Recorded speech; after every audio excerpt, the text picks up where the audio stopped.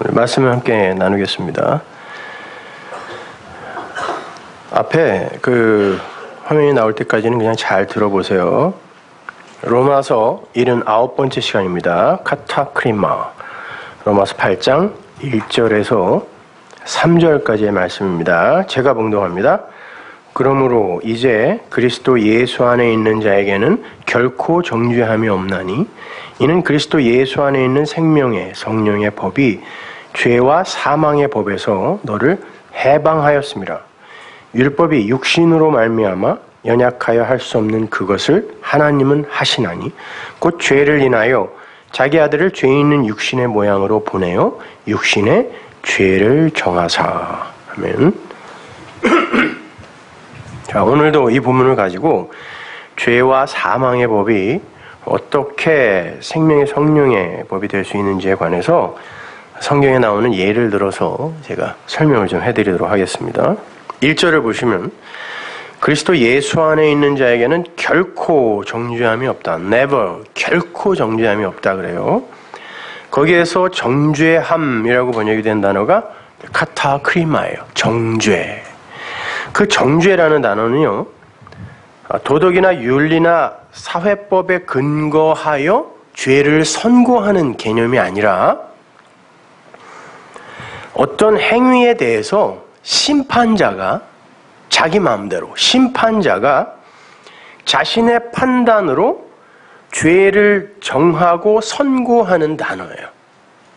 자, 제가 여러분에게 요 몇 초를 설명해 드리기 위해서는 이 단어가 쓰여 있는 책들을 어마어마하게 읽어내야 돼요.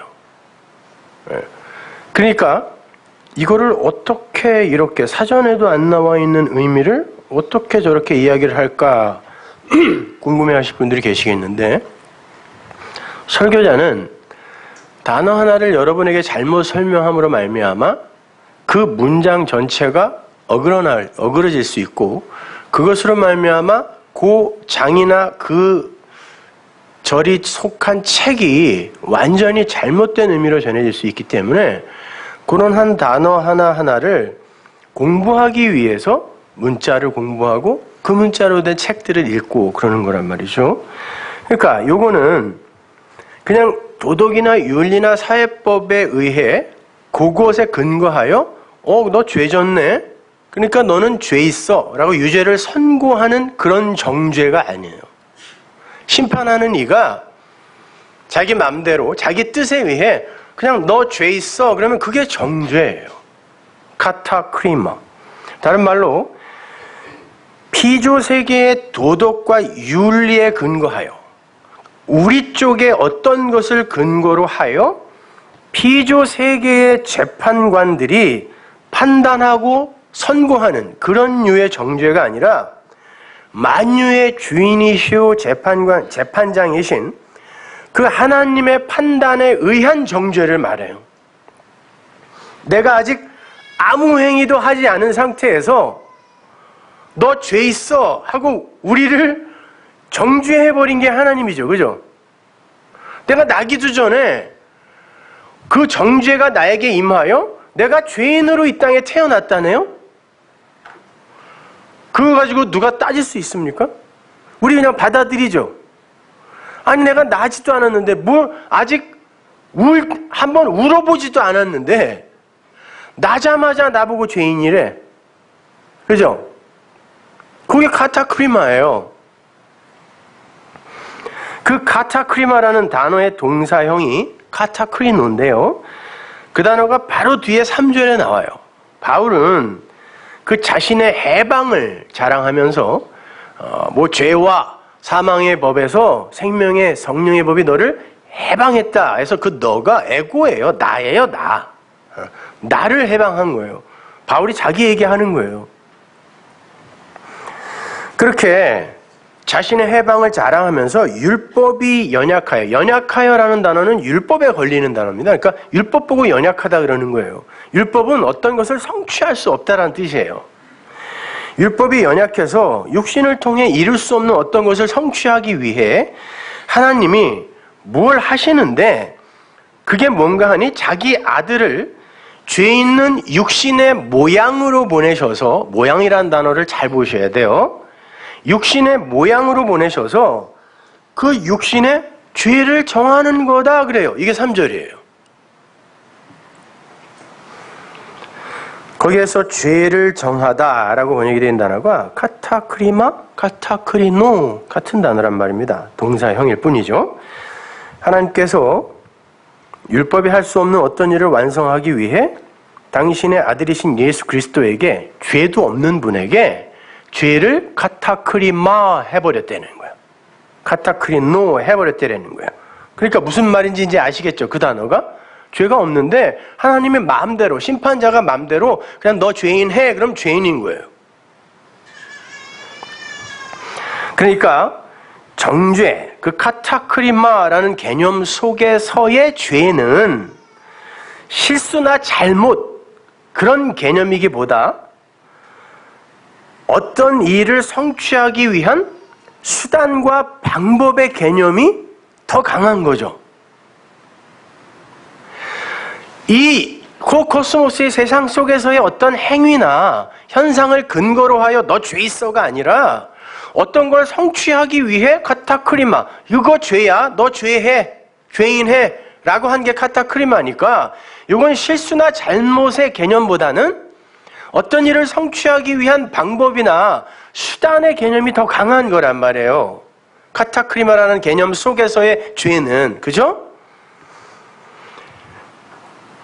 그 그러니까 그걸 깨달으면 아 그렇구나 그러면은 그게 원래 나를 죽일 수 없었던 거네.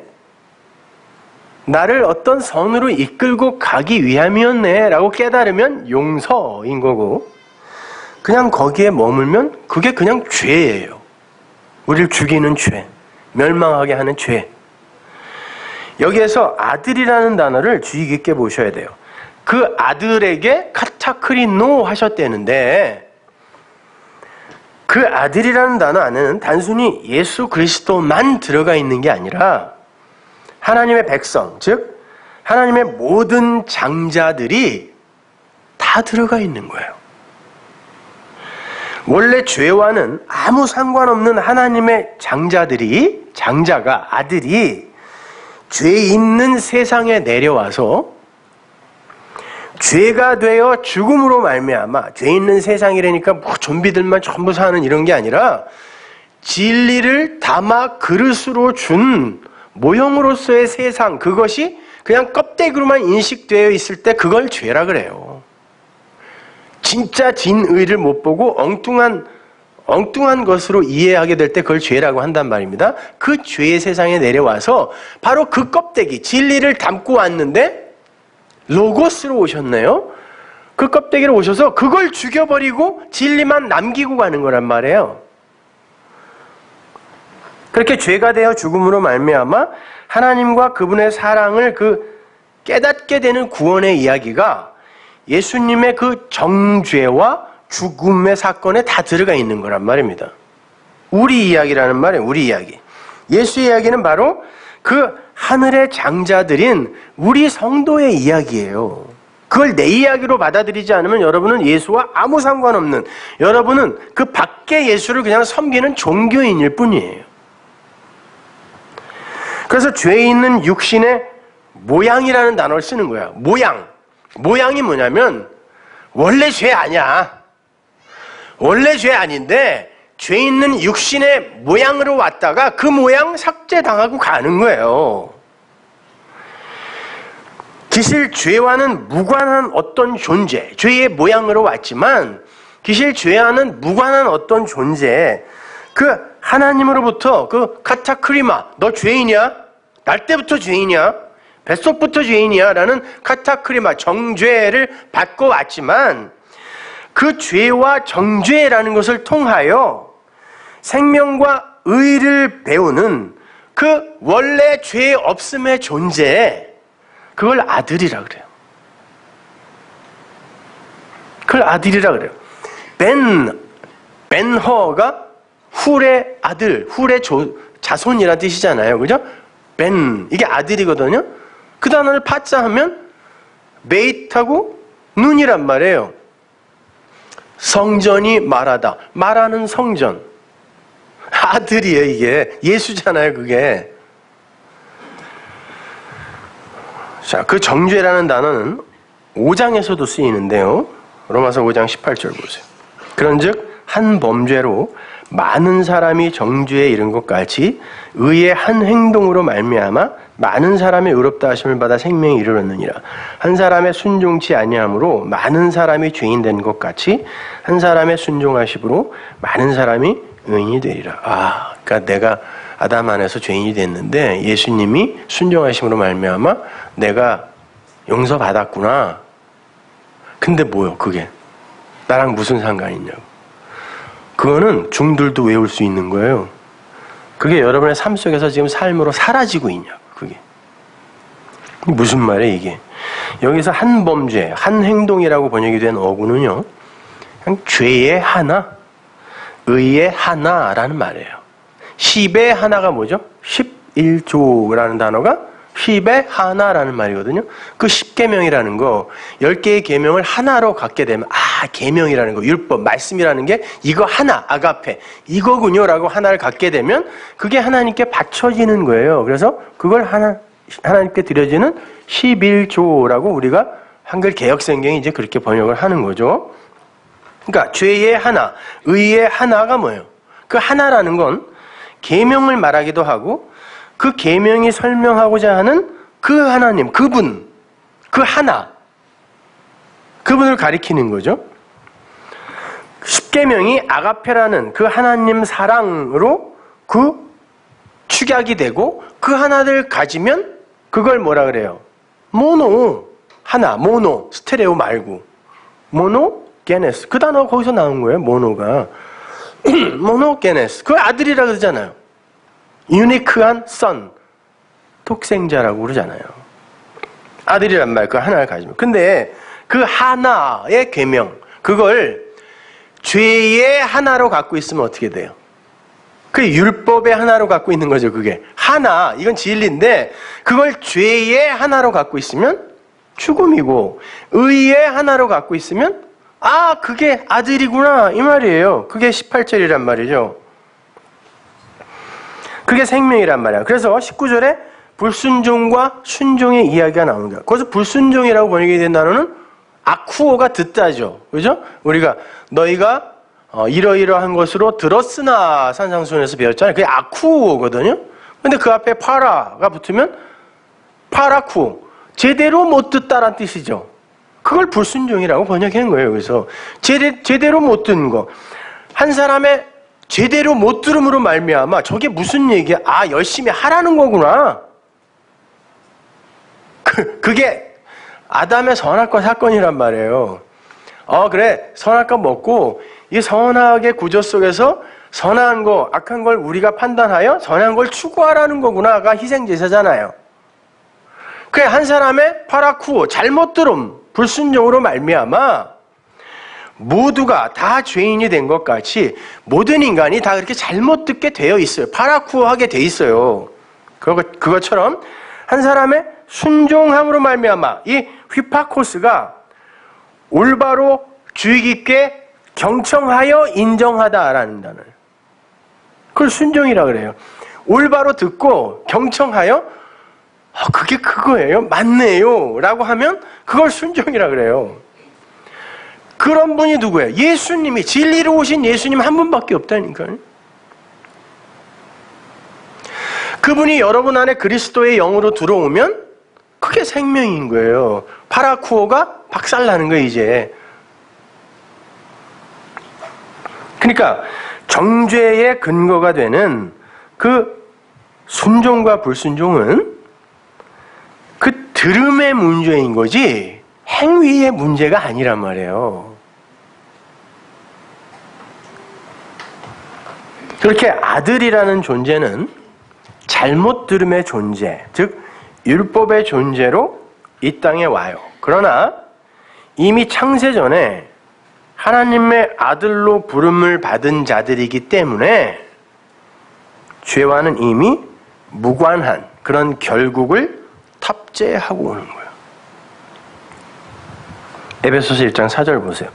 곧 창세 전에 그리스도 안에서 우리를 택하사 우리로 사랑 안에서 그 앞에 거룩하고 흠이 없게 하시려고 그 기쁘신 뜻대로 우리를 예정하사 예수 그리스도로 말미암아 자기의 아들들이 되게 하셨으니 언제 창세 전에 하나님의 아들이 됐대요. 그리고 여러분은 거룩하고 흠이 없다네요. 과거 완료잖아요. 그런데 그들이 왜 이 세상에 ὁ κόσμος의 세상에 내려오냐고요. 그냥 놔두면 되잖아요. 이미 창세 전이라는 게 뭐예요? 생각 밖의 시간이죠. 그죠? 생각 밖의 시간이라는 단어로 또 표현하기도 뭐 그렇지만 우리가 알, 알고 있는 단어가 그거밖에 없으니까 생각 밖의 시간, 이 시간이 아닌 거. 뭐 영원, αἰών이라고도 하지만 그때 다른 차원의 거기에서 이미 우리는 아들이 됐고 흠없고 거룩한 자가 되었다 그러네. 그런데 이 죄뿐인 모형의 세상에 그 진리, 내용만 있는 거기에서 껍질의 세상에 껍질을 입고 내려와서 아, 이게 아닌 게 그거구나를 배우고 가는 거잖아요, 우리가. 이게 아닌 게 그거구나. 그런데 이거에서 그냥 머물러 버리고 이걸로 일희일비하고 여기서 희로 애락을 찾으면 어떻게 되죠? 그걸 멸망이라 그래요.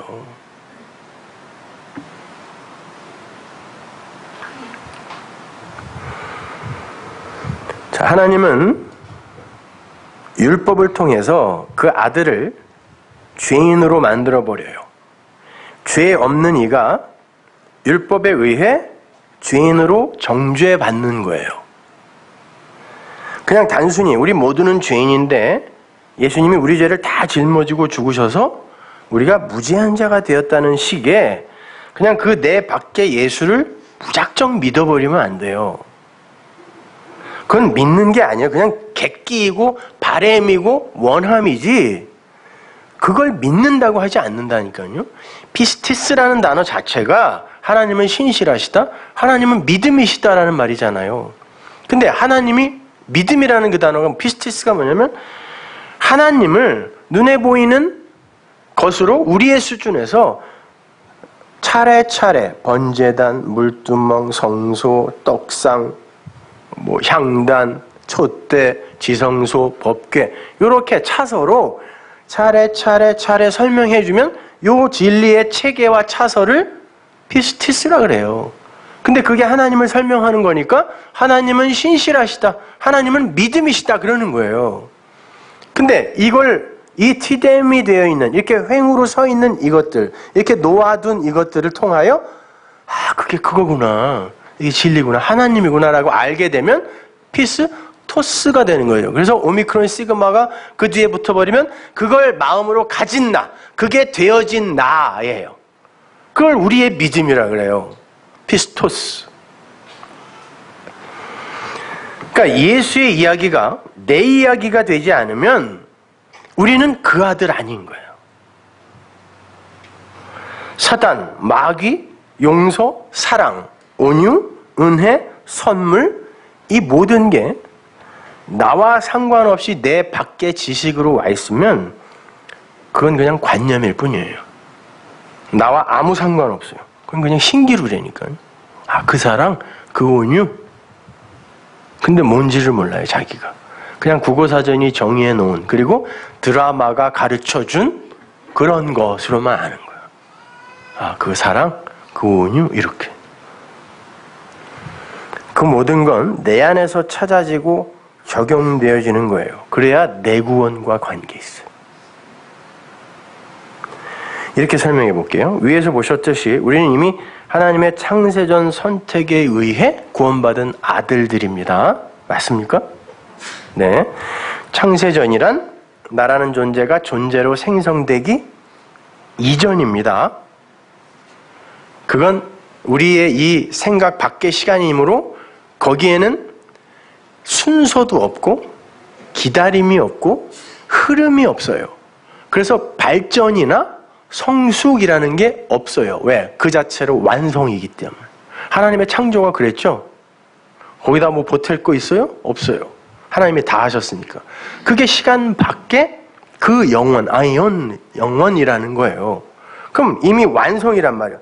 다른 차원에 완성되어 있는 존재가 진리인 여러분이란 말이에요. 모세, 바울, 요한이 진리를 통하여 그걸 본 거죠. 아, 완성이야? 그래. 그거를 이렇게 한번 만들어 보자가 성막이었잖아요. 아, 그거 3층 천에 갔더니 그거 사람의 말로는 도저히 표현할 수 없는 그거 하고 그거 전하러 다닌 거예요. 바울이. 요한, 아, 완성되어 있는 그거 하늘의 그 진리를 보니까 그거는 거기에 이미 완성된 거네? 그러면 죄, 악, 이게 나랑 무슨 관계야? 그건 완성이네? 하고 쓴 게 요한 계시록이에요. 그래서 완성되어 있는 거기가 그때 당시에 요한이 갖고 있는 어떤 지식이나 배경이나 이런 것으로 이렇게 그려진 거예요.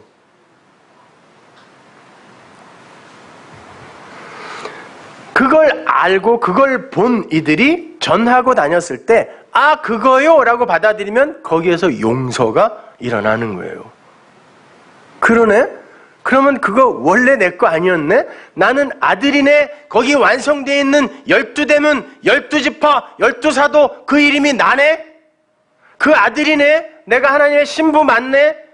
그 오직 그분의 은혜에 의해서, 그분의 능력에 의해서 완성된 아들 나네? 그러면 이 호코스모스의 세상 속에서의 죄나 나의 행위나 모든 건 그 완성과는 아무 무관한 거라는 걸 알 때 내가 구원받았다라고 하는 거예요.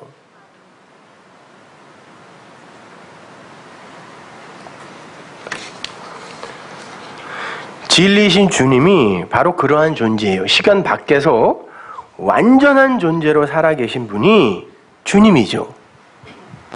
그런데 그분이 시간 안으로 피조 세계 안으로 들어오세요. 성경은 이 세상 모든 게 하늘의 진리를 설명하는 그릇이라 그런단 말이에요. 로마서 1장에 나오잖아요. 모든 만물에 하나님이 들어있어.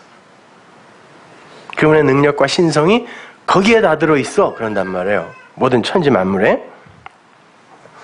따라서 하늘의 존재는 이 세상 만물 속에서 하늘의 것을 보고 듣고 느껴야 되는 거란 말이에요. 불가에도 석가성불, 산천초목 동시성불이란 말이 있다 그랬죠. 석가, 석시가 어? 석시성을 가진 이가 성불을 했어요. 부처가 되니까 모든 곳에 부처가 있네? 이런 말이에요. 근데 안타깝게도 그들은 구약밖에 없어요. 그들이 갖고 있는 진리의 내용 중에 성경과 흡사한 게 굉장히 많다 그랬죠. 왜? 어차피 말, 말씀은 하나님의 말씀밖에 없어요. 하나님이 창조주기 때문에. 그래서 모든 종교가 그 하나님 말씀을 왜곡하여 자기들 것으로 해석하고 있을 뿐이지, 원래 말은 하나라니까요, 진리는. 근데 그들에게 없는 게 뭐예요? 예수 그리스도가 없어요. 진리로 완성이 되는 신약이 없다니까요. 그러니까 산천초목 동시성불이라고는 하는데 그거가 뭔지를 몰라요. 스님들하고 얘기해 보면 그거가 뭔지를 몰라요. 거기까지는 너무너무 말을 잘해 주셔. 근데 그거가 없어요.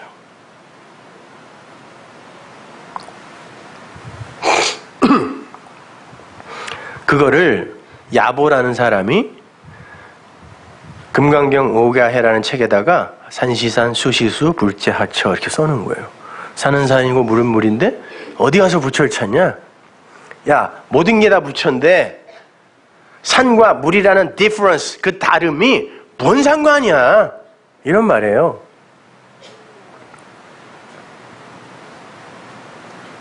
근데 뭔 상관이야? 라고까지는 좋았는데 그게 뭔지를 몰라.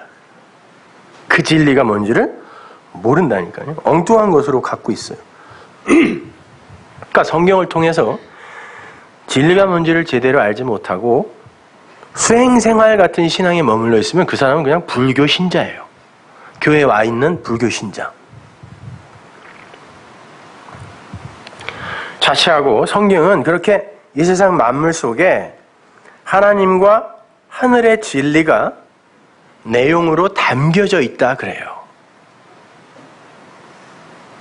내 곁에 있는 남편, 내 곁에 있는 아내, 그들의 성품, 내 자식, 나의 직장, 내 눈에 보이는 저 산, 저 물, 모든 게 다 진리를 설명해요. 하나님만 설명한단 말이에요. 나는 하나님이고 너는 피조물이야. 이거. 그걸 설명한다니까요. 근데 그걸 그냥 그 껍데기로만 보면 그것 때문에 죽고 싶은 거야. 거기서 벗어나는 거예요. 자, 그렇게 진리를 내용으로 담고 있는 천지 만물을 그냥 그 껍데기로만 봐주면 그 안에 있는 진리가 얼마나 섭섭하겠습니까? 나는 그거 아닌데 왜 나의 껍데기만 보고 그래? 이럴 거 아닙니까? 로마서 8장 19절 보세요. 피조물에 고대하는 바는 하나님의 아들들의 나타나는 것이니 이게 아포칼립시스가 이렇게 드러나다 원래 것으로 밝혀지다예요. 어디 저기 있다 그냥 막 나타나는 게 아니라 하나님의 아들들이 이 땅에 와 있는데 그들이 원래 것으로 이렇게 나타나면 아포칼립시스 나타나는 것이니 피조물이 허무한데 굴복하는 것은 자기 뜻이 아니요 오직 굴복해 하신 이로 말미암음이니라. 그들이 이렇게 껍데기를 갖고 진리를 안에 품은 채 이 땅에 와 있는 거, 이 썩어짐의 종로를 하고 있는 건 하나님이 그렇게 시켰다는 거예요. 그 바라는 것은 피조물도 썩어짐의 탄 데서 해방되어 하나님의 자녀들의 영광의 자유에 이르는 것이니라. 그 모든 피조물이 내가 진리인데 왜 나를 진리로 봐주는 이가 없어? 이걸 내가 진리라는 걸 누군가 이야기를 해줘야 거기서 벗어나는 거예요. 누군가가 와서 개구리 왕자에게 뽀뽀를 해줘야 얘가 왕자가 된다니까 진짜 왕자였던 개구리가. 근데 그건 하나님의 아들들만 할 수 있어요. 그 성전을 말해주는 그이, 벤 그이만. 그러니까 피조물들이 기다리는 거예요. 나를 왜 이걸로만 봐. 껍데기로만 봐. 내 안에 그 하나님이 있잖아. 그 내용이 있잖아. 라는 얘기. 그걸 영광의 자유라고 그래요. 거기서 확 풀려나면 그걸 자유라고 그래요. 껍데기에서 벗어나는 걸. 피조물이 다 이제까지 함께 탄식하며 함께 고통한 것을 우리가 아나니 이뿐 아니라 또한 우리 곧 성령의 처음 익은 열매를 받은 우리까지도 속으로 탄식하여 양자 될 것. 여기서 양자는 입양 아닙니다. 아들로 세우는 거.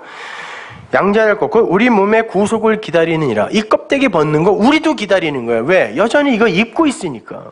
근데 자꾸 얘한테 지네. 그러니까. 로마서 1장 19절을 보면 모든 천지 만물에 하나님의 능력과 신성이 들어가 있다 그러잖아요. 그런데 사람들이 그걸 보고 아 예쁘다. 아, 더럽네. 추하다. 아름답다. 깔끔하다? 이렇게 그 껍데기를 보고 그들을 평가해요. 그럴 때, 아니, 그게 이야기하고 있는 무엇가 있잖아. 그걸 봐야지, 그걸 보고 누가 너한테 아름답다, 추하다, 이거 평가해달래? 모든 만물이 그런다는 거예요. 상징적인 얘기입니다. 진리는 성도는 그걸 보는 이들이라는 거예요. 자, 하나님의 아들들이 나타납니다.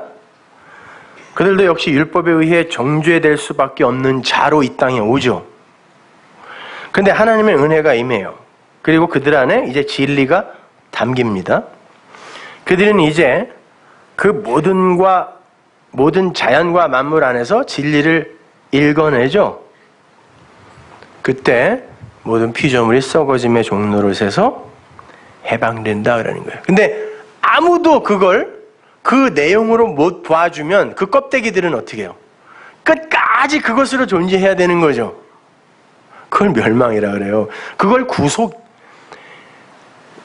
죄에서 벗어나는 구속 말고 이 구속, 묶여 있다 그러는 거예요. 마찬가지입니다.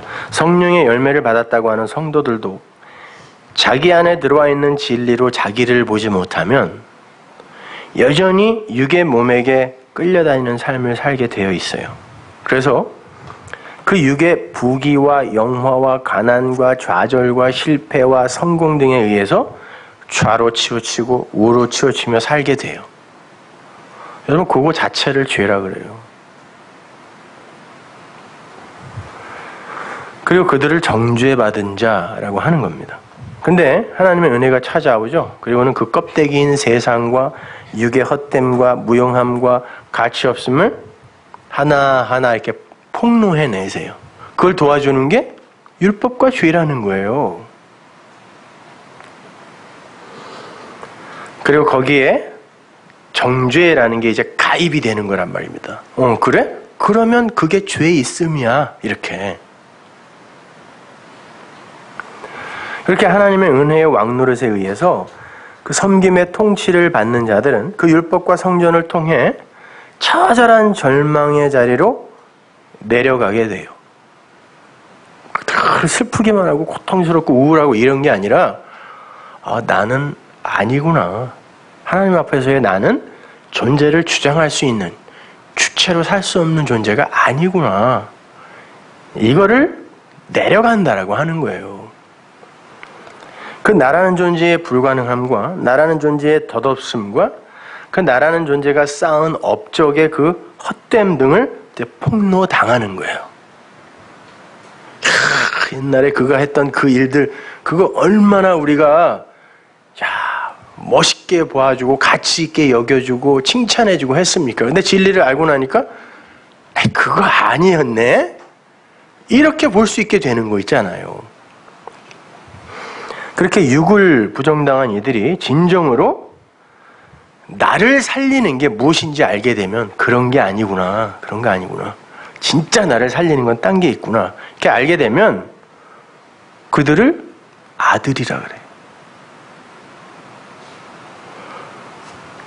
존재를 존재되게 하는 건 절대로 이 세상에서 찾아볼 수 없구나. 아무것도 없구나. 그걸 알게 된 이들이 그 존재의 근거를 하나님에게서 찾게 되고 하나님 그거 당신이 준다 그랬으니까 주세요. 이게 아이테오예요. 빚 갚으세요. 하나님 나에게 주세요. 이게 구하라예요. 아이테오, 제테오. 그럼 내가 줄게. 다 줄게. 구하면 준다가 아니라 내가 택한 자들은 그거 구하게 되어 있다는 뜻이에요.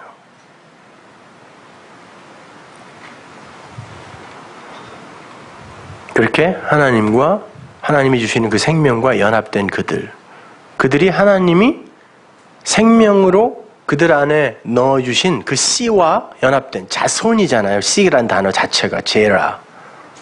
그들의 아들이 되니까요. 씨를 가진 자, 아들. 히브리서로 한번 가보세요. 11장 39절. 이 사람들이 다 믿음으로 말미암아 증거를 받았으나 자, 증거는 받았어요. 눈에 보이는 거. 약속을 받지 못하였으니 약속을 받지 못하였다. 이는 하나님이 우리를 위하여 더 좋은 것을 예비하셨은즉 우리가 아니면 저희로 온전함을 이루지 못하게 하려 하심이니라. 히브리서 기자가 11장에서 구약의 그 믿음의 선진들을 쫙 설명하죠. 이 사람들은 이렇게 살았고 저 사람들은 저렇게 살았고 그렇게 살라는 거 아닙니다. 하나님이 그런 쪼다들을 어떻게 믿음으로 만드셨는가를 보여주는 거예요.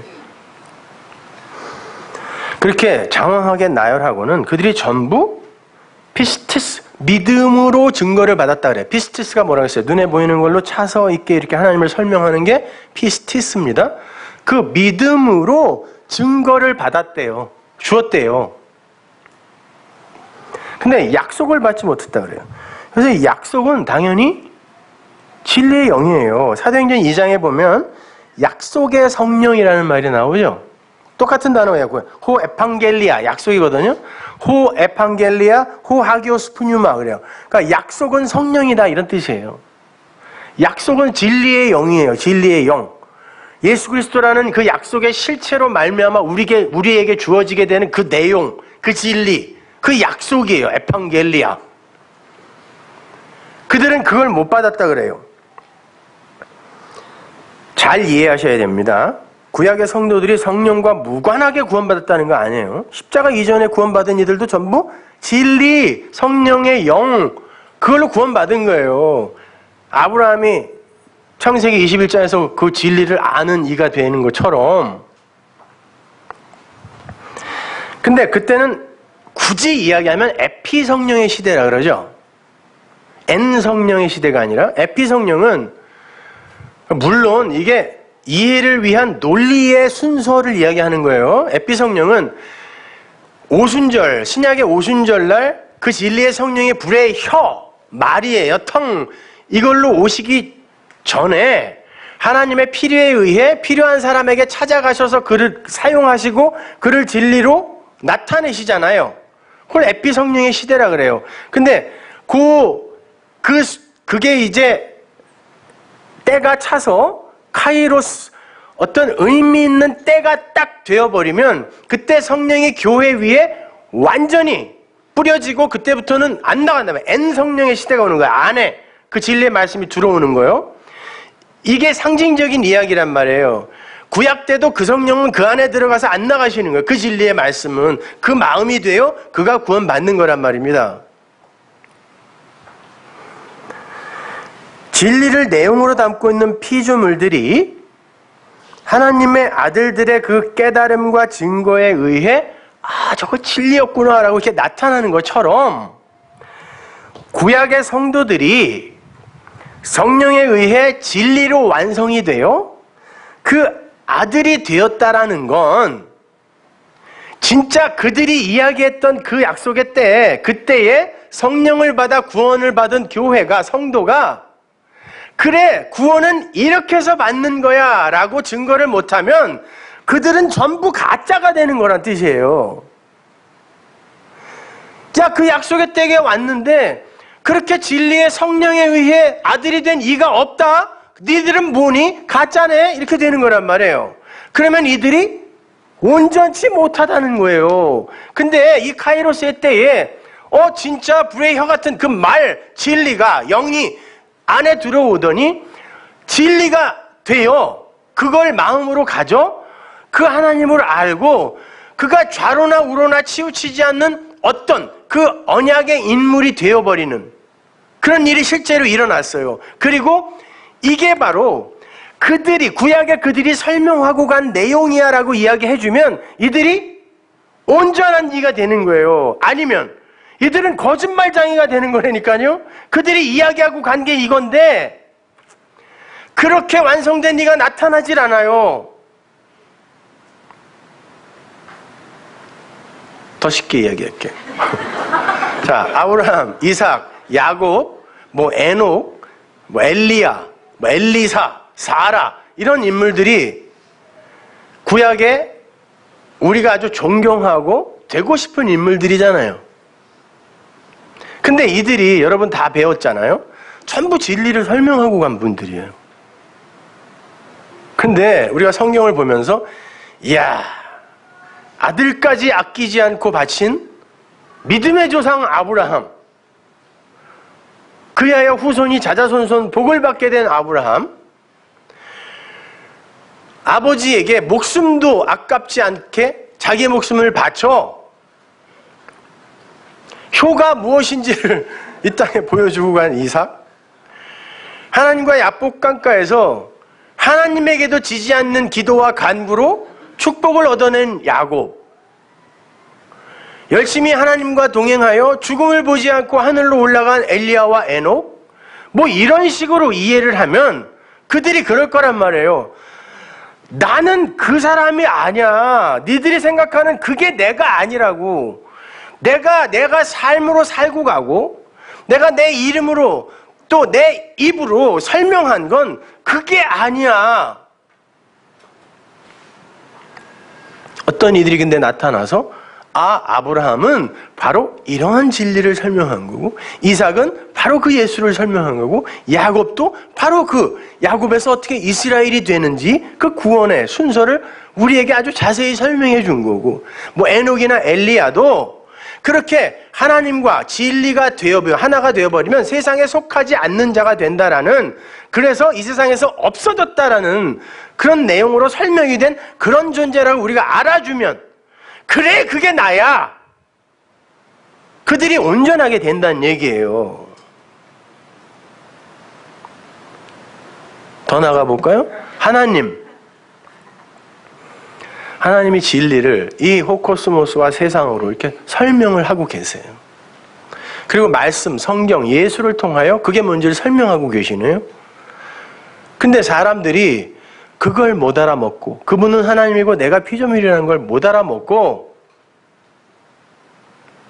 그분은 고진감래로 우리를 인과 율로 우리를 스스로 돕는 자를 돕는 그런 하나님이야 라고 우리가 오해하고 있으면 우리의 행위나 열심과 노력에 의해 우리에게 상선벌악 하시는 권선징악 하시는 그런 하나님이야. 그러니까 열심히 하자. 훌륭하게 성숙되자. 이렇게 알고 있으면 그 하나님은 하나님은 다른 이야기를 하고 계시잖아요, 지금. 말씀으로. 근데 우리가 하나님을 믿는다고 하는 어떤 이들이 그렇게 하나님을 이야기하면 하나님을 거짓말자기로 만드는 거 아니에요. 하나님은 다른 이야기를 하고 있는데 그러면 그들을 도둑이요 강도라고 하는 거예요. 왜 하나님의 말씀 훔쳐다가 엉뚱하게 써? 이렇게. 그래서 어거스틴이 그러는 거예요. 하나님도 하나님의 아들들에게 구원받지 못하면 영원히 감춰진다. 불경한 소리가 아니에요. 하나님이 뭐가 모자라서 구원을 받아야 된다는 말이 아니라 그의 아들들이 나타나서 그 하나님을 올바로 설명해 주기 전에는 그건 사람들, 피조물들에게 하나님으로 설명이 안 되기 때문에 구원 못 받은 하나님이라고 이야기하는 거예요.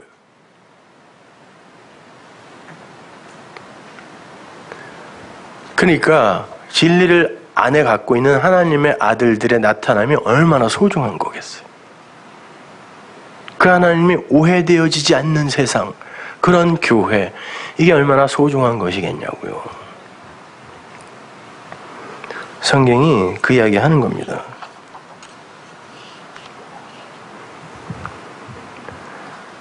하나님은 우리에게 세상과 육신을 주시고 그게 아닌 게 바로 나야 라고 어, 설명을 하시고자 하는 거예요. 그래서 이 세상과 율법과 성전은 옛 성전은 반드시 허물어져야 되는 거죠.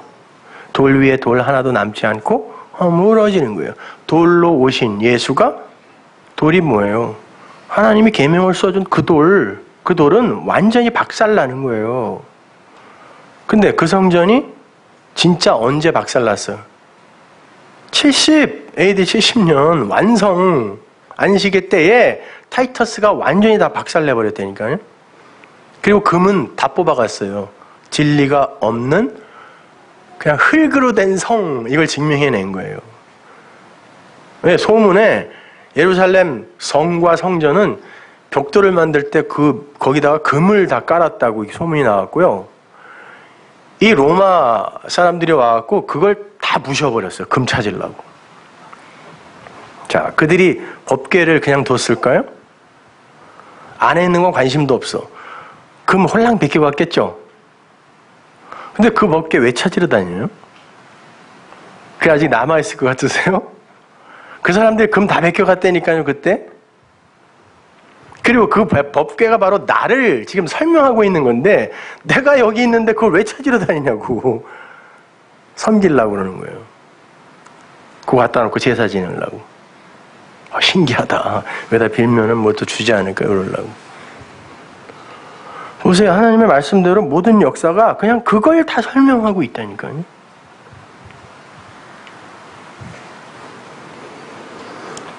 자, 그래서 주님이 이 땅에 오셔서 그 율법에 의해 맞아 죽으시는 거예요. 주님은 당신이 바로 진리며 생명이다. 이렇게 말씀하셨어요. 그러면 진리와 생명만 남고 율법으로 입고 있는 껍데기는 죽어야 되잖아요. 그렇게 율법에게 자기의 육신을 내주시죠. 죄의 모양으로 온 육신, 정죄받은 육신은 거기서 죽는 거예요. 그럼 죄와 상관없는 자, 그리스도가 되는 거란 말이에요. 여러분의 삶 속에 나타나는 일이란 말입니다. 잠시 죄를 체휼하기 위해 입고 온 육, 그게 죄의 모양이에요. 그 육이 언약의 기둥에서 장렬하게 전사하자 진짜 생명인 팔, 팔의 날에 부활의 생명이 나타나는 거예요. 우리는 그 죽음이 나나토스의 죽음임을 배웠습니다. 그 예수의 죽음이 나의 죽음이고 나의 죽음이 곧 예수의 죽음이에요. 나도 아들, 예수도 아들. 같은 아들인 거예요. 내 머리, 한 몸이란 뜻이에요. 그러한 십자가의 진리를 제대로 인식을 하면 예수가 하신 일에 초점이 맞추어져 있던 내 관점이 쉬프트 되는 거예요. 어디로? 나에게서 일어날 죽음으로. 예수가 날 위해 한 일이 아니라 나에게서 일어날 죽음으로 관점이 쉬프트 되는 거예요.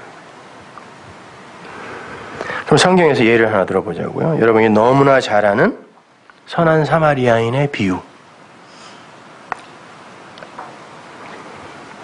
3일교회 가서는 요 앞에까지만 하려고 그래요. 뒤에 거까지는 어, 못, 못 알아들을 것 같아서. 선한 사마리아인의 비유가 뭐였어요? 제가 비유 때 한번 설명해 드렸죠. 율법과 예수 그리스도의 이야기예요. 율법사가 오죠. 율법을 연구하고 가르치는 이에요.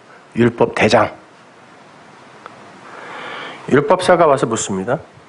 내가 알기로는 자 율법이 알기로는 영생은 율법을 통하여 뭔가를 열심히 해야 얻는 것이라고 배웠다. 뭘 해야 영생을 얻어? 이렇게 물었어요. 율법이. 예수님에게. 은혜에게 묻는 거예요. 율법이. 뭘 해야 영생을 얻을 수 있지?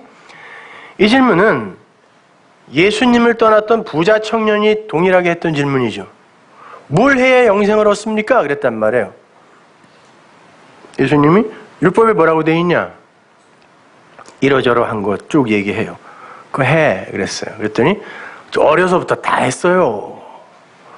주님이 그럽니다. 그러면 네가 그거 다 했다고 하는데 네가 가지고 있는 걸 가난한 이에게 다 주고 와봐 그래요. 거기서 가난한 이가 푸토코스예요. 푸토코스가 뭐라 했습니까? 마음이 가난한 자, 성령 안에서 그거 없으면 나는 죽는 자. 내가 어떤 노력을 해서도 이 가난을 채울 수 없을 때, 그 페네스라는 건 내가 돈을 벌어서 어떻게든 그걸 조금이라도 메이크업 할 수 있으면 그건 푸토코스 아니에요. 근데 나에게는 방법이 없는 그 가난 있죠. 절대적 가난. 이게 푸토코스란 말이에요. 거기에 하나님이 그 단어를 쓰신다니까요. 너 율법 다 지켰다며. 그러면 그 율법은 곧 사랑을 이야기하는 거다. 그러면 그 사랑, 푸토코스한 그 가난한 사람에게는 그거 주면 그가 살거든? 그럼 네가 다 지켰다고 했으니까 그거 주고 와봐 그랬단 말이에요. 근데 그는 율법을 율법으로 지켰잖아요. 그러면 그에게 있어서 푸토코스한 사람에게 줄 게 있다 없다? 없어요. 그러면 그를 부자라고 하는 거예요. 바늘귀 문으로 못 들어가는 부자. 그러니까 그는 그리스도 예수를 떠날 수밖에 없는 자예요. 그 부자는 바늘귀 문으로 못 들어가. 내가 문인데 못 들어가. 어떻게 나를 쫓아? 라고 한 거죠. 똑같아요. 율법 교사가 은혜의 주님께 묻습니다. 뭘 해야 영생 얻습니까? 그랬더니 율법에 뭐라고 돼 있니? 그랬더니 얘기했어요. 사랑입니다. 잘 알고 있습니다. 자, 하나 더 나간 거예요. 그 부자의 이야기에서. 이 사랑 이야기한 거야, 하나님이. 너 그럼 율법으로 그 사랑 갖고 있어? 그럼 줘봐. 못 줬어요. 여기서는 율법사가 정확히 이야기합니다. 예, 사랑입니다. 율법은요. 그래? 그러면 그거 해. 그랬더니 내 이웃이 누굽니까? 가르쳐만 주세요. 사랑 가서 주고 올게요. 그랬단 말이에요. 근데 율법사예요. 그럼 율법사가 가진 사랑은 뭐예요? 베드로식의 사랑이에요. 십자가 이전의 베드로식의 사랑. 내가 목숨 걸고 주님을 지키겠습니다의 그 사랑.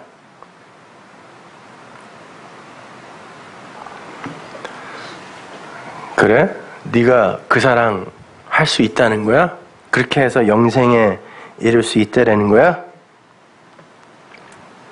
이 이야기는요. 그 부자 청년에게 너 가갖고 가난한 자 푸토코스에게 네가 가진 사랑 한번 주고 와봐. 이 말이랑 똑같은 말이에요. 너 사랑할 수 있어? 그럼 그거 해. 그랬다니까요. 그랬더니 그래요? 그럼 이웃을 가르쳐 주세요. 여기서의 그 율법사가 말하는 이웃은 뭐예요? 푸토코스의 이웃이 아니라 페네스의 이웃이겠죠. 그냥 진짜 가난한 자, 그 이웃. 그에게는 율법이 해줄 수 있는 게 있잖아요. 진짜 세상의 구제, 세상의 사랑, 세상의 관심, 율법이 줄 수 있는 거, 줄 수 있다니까요. 누가 이웃입니까? 그랬어요. 그때 주님이 이 선한 사마리아인의 비유를 주는 거죠. 이 비유의 주인공인 사마리아인이라는 단어의 의미, 이거부터 알아야 되 겠습니다. 사마레이테스는 히브리어 쇼무론에서 온 단어거든요. 근데 그 사마르가 기본형인데 그 단어가 깨어있는 자, 파수꾼, 울타리를 치는 자예요. 울타리라는 게 뭐냐면 예루살렘 성벽 있죠? 안과 밖을 나누는 거거든요. 구별 짓는 자. 그러니까 좋은 의미예요. 사마리아인이란 단어 자체가. 이 사마리아인이 누굽니까? 아수르에게 북이스라엘이 멸망돼가지고 피가 섞여버렸죠. 유대주의에게 유대주의 밖에 이방적인 것, 이것 아닌 어떤 것의 피가 수혈된 거예요.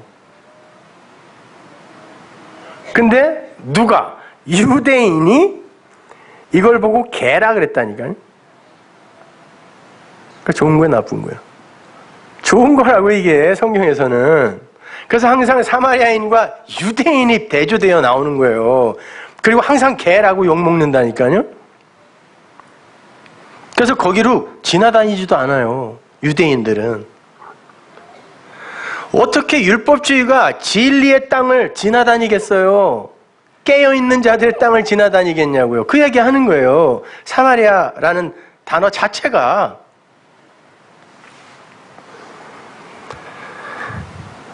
그러니까 거기 그, 그 사마리아인이 등장하는데 이야기가 어떻게 시작되냐면 예루살렘에서 어떤 사람이 여리고로 내려간다 그래요. 카타바이노. 예루살렘은 야라와 샬롬의 합성어라 그랬죠. 그러니까 평강, 평화, 에이레네를 가리키는 거예요. 그걸 가르치기 위해 가리킨 게 성전이었죠. 예루살렘이었죠. 예루살렘이에요, 그게. 진리를 담고 있는 그릇인 거예요. 그게 내려왔어요. 어디로?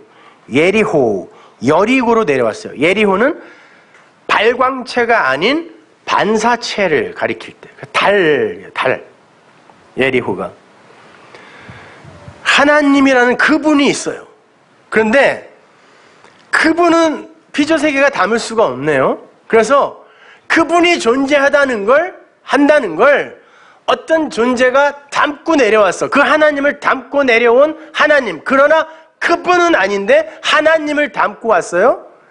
이, 이분을 알면 나를 본 자는 아버지를 본 거야 라고 이야기했단 말이죠. 그러니까 이분을 보면 달을 보면 해가 있다는 걸 알듯이 이분을 보면 하나님을 아네. 그래서 하나님입니다. 예루살렘이 카타바이노 내려와요. 어디로? 예리호로 달 반, 반사체로 내려오는 거예요. 그 발광체는 우리가 감당할 수가 없어. 눈이 멀어버려요. 저기 있는 그분. 자, 예루살렘에서 예리호로 어떤 분이 내려오는 거예요. 거기에서 생기는 일이란 말입니다. 근데 그 예리호, 여리고라는 이름이 성경에 많이 나오지만 아주 특이한 사건이 여리고에서 세 번 일어납니다. 처음은 당연히 여호수아 5장 이하에 하나님이 시킨 말을 그대로 외쳐서 성이 철옹성 같은 성이 안에서 바깥으로 무너져 버리는 그 사건이에요.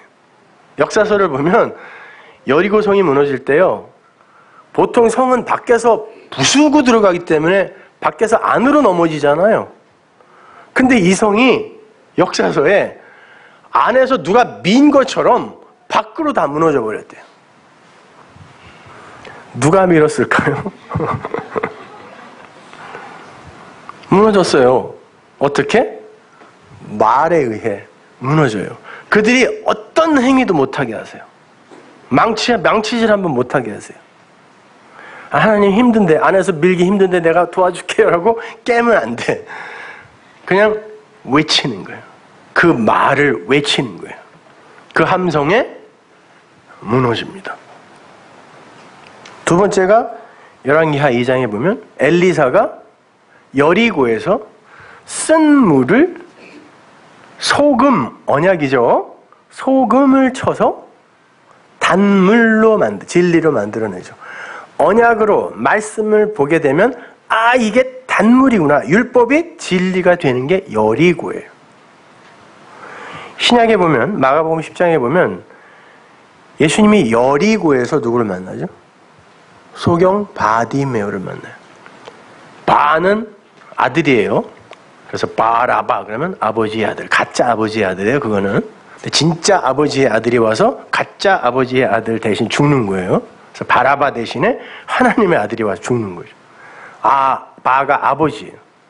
디메오는 더러움, 어두움 이런 뜻이죠. 그 더러움의 아들이 하나님의 은혜가 임하게 되면 내가 더러움이라는 걸 알아요. 그래서 내가 그분의 극률이 여기심을 못 받으면 나는 죽는다는 걸 알아요. 그래서 바디메이가 뭐라 그러냐면 나를 불쌍히 여겨주세요 그래요. 내 눈 좀 띄워주세요가 아니에요. 불쌍히 여겨주세요. 당신의 긍휼이 없으면 나는 죽습니다라고 더러움의 아들이 이야기하니까 그의 눈이 떠지는 거예요. 그래서 호라우 하게 되는. 여리고는 그런 거예요. 자, 하늘의 샬롬이 예루살렘이 이 땅에 그걸 가르치기 위해 카타바이노 내려옵니다. 뭘로? 예리호로 내려와요. 반사체로 내려오는 거예요.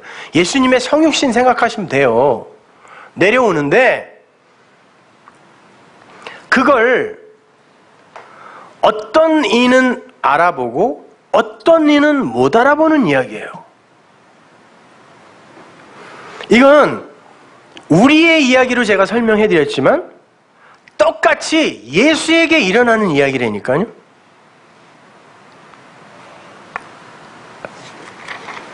한번 보세요. 그 예루살렘이라는 어떤 사람이 예리호로 내려오는데 강도가 나타납니다. 자, 강도는 뭐죠? 수없이 들었으니까 이제 알죠. 율법주의의 바리새인, 제사장 이런 사람들이에요. 한번더 찾아드리죠. 호세아서 6장 9절 보세요. 강도 때가 사람을 기다림같이 제사장의 무리가 세겜길에서 살인하니 저희가 사악을 행하였느니라. 내가 이스라엘 집에서 가증한 일을 보았느니 거기서 에브라임은 행음하였고 이스라엘은 더럽혔느니라. 이스라엘의 집이 성전입니다. 성전에서 강도 때 이 제사장들이 사람을 오히려 죽이고 있다는 거예요. 그래서 옛 성전을 하나님이 강도의 굴혈이라고 부르는 거죠. 요한복음 10장 1절 보세요. 내가 진실로 진실로 너에게 이르노니 양의 우리의 문으로 들어가지 아니하고 다른 데로 넘어가는 자는 절도며 강도다. 자, 다른 데 알라 알라 코덴 반대편에서 넘어가다 이게 나타나다예요. 예수님은 문으로 밖에서 들어가죠. 그래서 그들을 건져내야 되니까 그죠? 근데 다른 데서 나타나는 자는 누구예요? 안에서 나오는 놈들이에요. 담치기가 아니라 반대편에서 나타나는 자 제사장밖에 없어요. 레위인하고 제사장밖에 못 들어간다니까 거기는. 그들이 뭐라 그래요? 절도며 강도라 그래요. 그리고 나보다 먼저 온 자들은 전부 절도며 강도다 그러죠 또. 예수님보다 먼저 온 게 뭐야? 율법. 절도며 강도. 하나님의 진리를 담아 이 땅에 내려오셨는데 율법주의 제사장 바리새인들이 그 하늘의 진리를 두들겨 패서 완전히 죽여버려요. 거기서 거반 죽었다라는 게 그냥 죽었다예요. 그런데 왜 거반 죽었다고 그러냐면 죽었는데 아주 죽지 않은 거. 이상한 말이에요, 그게. 그 무슨 말이냐면 부활을 전제로 한 죽음이란 뜻이에요. 거반 죽은 거.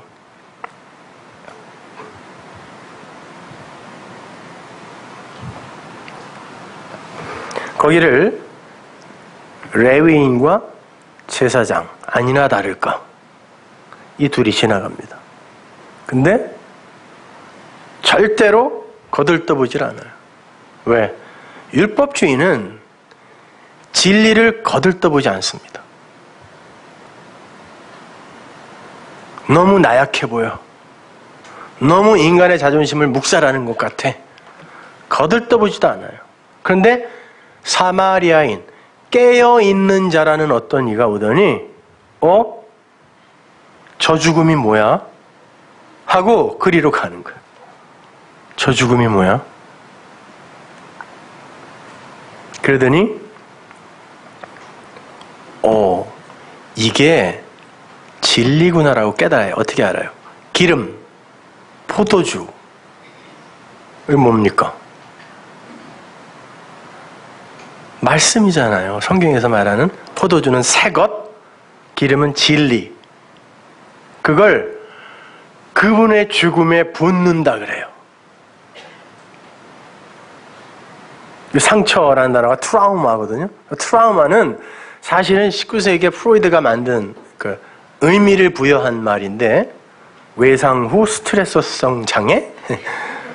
19세기에 나온 단어고 트라우마는 그냥 상처예요. 근데 상처가 어떤 상처냐면 죽이려고 때린 어떤 사람에 의해 입은 상처를 이 트라우마라 그래요. 헬라어로. 누군가가 의도적으로 죽이려고 한 거예요. 율법이. 근데 그 죽음에 기름과 포도주를 붓고 그렇게 되면 진리를 깨닫은 거죠. 그러면 어떻게 됩니까? 그 죽음이 내 죽음이라는 걸 아는 거죠, 이제. 어, 그 죽음 아니었으면 나 큰일 날 뻔했네. 이렇게 된 거죠. 그러면 내가 그 예수 죽인 거 맞네요? 그래서 자기라는 짐승 위에 그를 태우고 그래요. 예수님이 예루살렘으로 죽으러 들어가실 때 못 타고 갔어요. 새끼 낙이 그 짐승을 붉은빛 짐승, 낙이라는 단어 자체가 뜻이 붉은빛 짐승이에요. 근데 붉은빛 짐승, 북다라는 단어는 성전을 붉게 칠했죠. 그리고 아담이라는 단어가 북다란 뜻이거든요. 흙으로 만든 건 붉은 흙. 죄예요, 죄. 그래서 너희 죄가 주홍같이 붉을지라도 양털같이 희리라라는 건 성전, 인간, 호커스모스 이 세상은 그냥 죄 덩어리라는 거예요. 거기에 그들을 살릴 예수가 타고 그들이 되어 죽으러 들어가는 거예요. 그래서 이가 자기 원어에 보면 자기라는 짐승에 이런 데 이렇게 나와 있어요. 자기라는 짐승에 그분을 태우고 가는 거예요 성전으로. 뭐하러? 죽이로. 그 예수가 죽어야 그가 살, 산다는 걸 알기 때문에 죽이로 가는 거예요. 마찬가지입니다. 성도가 이 땅에 아들로 와요. 아들로 오는데 율법에 의해 죽임을 당해. 어, 나 아니네. 이렇게. 그죠? 예수님이 그 그대로 보여주시는 거예요. 강도 맞는 거예요. 율법에게 맞아가지고. 나나토스의 죽음이 그 죽음이라니까요. 거반 죽어. 아, 거반 죽어야 그 사마리아인이 보이는 거예요. 율법이 죽어야 율법이 살아있으면 자기가 개 취급하던 사마리아인이 다가왔을 때 절대 못 만지게 합니다. 근데 내가 그 율법에 의해 맞아 죽어 트라우마가 생기면 움직일 수가 없어요. 그때 은혜가 그를 만질 수 있다니까요. 그러면 어떻게 해요? 예수님이 진리로 붙죠, 우리에게. 그리고 율법, 짐승으로 오신 그분이 나를 태우고 나를 죽이러 가는 거예요. 어디로? 십자가로. 내 이야기가 예수 이야기라니까요. 그러면 그 일을 하러 온 그 예수 그리고 그 일을 하는 과정에서 정죄받은 카타크리마의 그 예수 그에게 내려진 정죄라는 게 나쁜 거예요? 그럼 여러분이 잠시 그 죄인의 과정 이걸 겪기 위해 정죄되는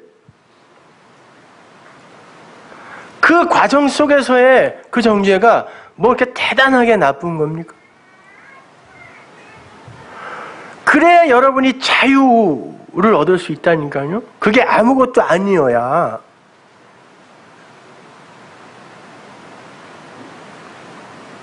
예수님이 그러잖아요. 가서 너도 이와 같이 해라. 너도 죽을 거야. 이런 뜻이에요.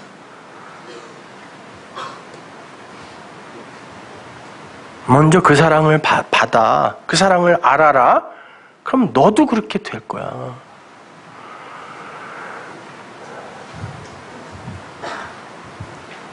그러면 좌로나 우로나 치우치지 않을 수 있어요. 그걸 알았는데 정죄가 나에게 뭘 할 수 있냐고요. 그래서 바울이 그러는 거예요. 그러므로 우리는 이제 결코 정죄되지 않는다 그러는 거예요. 심판의 정죄. 그럼 없어지는 거예요, 이제. 아예 없어요. 왜? 그게 뭔지를 알았기 때문에. 그거 복음이라 그래요, 여러분. 기쁘세요, 그게? 복된 소식인데? 그 기쁘셔야 돼요. 그게 예수 믿는 겁니다. 기도하겠습니다.